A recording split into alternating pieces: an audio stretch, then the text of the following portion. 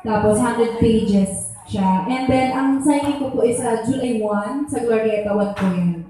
2 p.m. to 5 p.m. po. Um, as of now po, yun pa lang yung uh, naka-assign na magsasign ako. Sa Glorieta 1 pa lang po.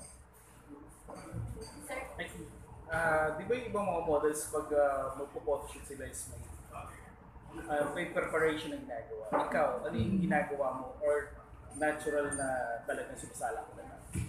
Um, actually, ako talaga, ang ginagawa ko sa lahat ng shoot ko, although nagda-diet ako before the shoot or before the project, hindi ako kumakain sa shoot talaga. As in, tubig lang ako lagi. Kasi takot ako na medyo nakihinto kasi yung chan ko. So, yun yung iniingatan ko. Sa mga pictures, so, tinitiis ko po talaga na huwag kumain kapag nasa shoot. Then, kapag after na ng shoot, doon na po ako kakain. Thank you.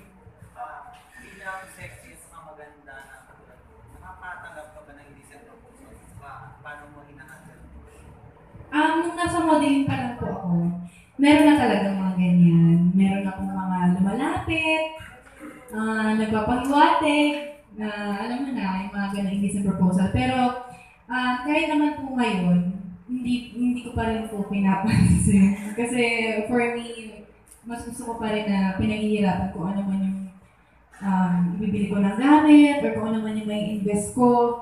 Mas gusto ko na nakikita ko yung pinaghirapan ko on my own na sa akin talaga nanggaling. What's your favorite part of your life? Favorite part? Mata? Mata.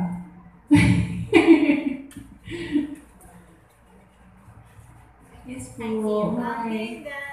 number two sexiest woman in the country, what does being sexy really means to you?